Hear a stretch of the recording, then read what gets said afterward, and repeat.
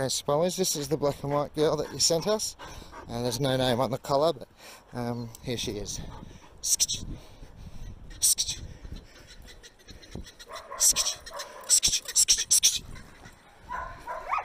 Didn't feel very good underneath my hands, like she had no idea. Good girl.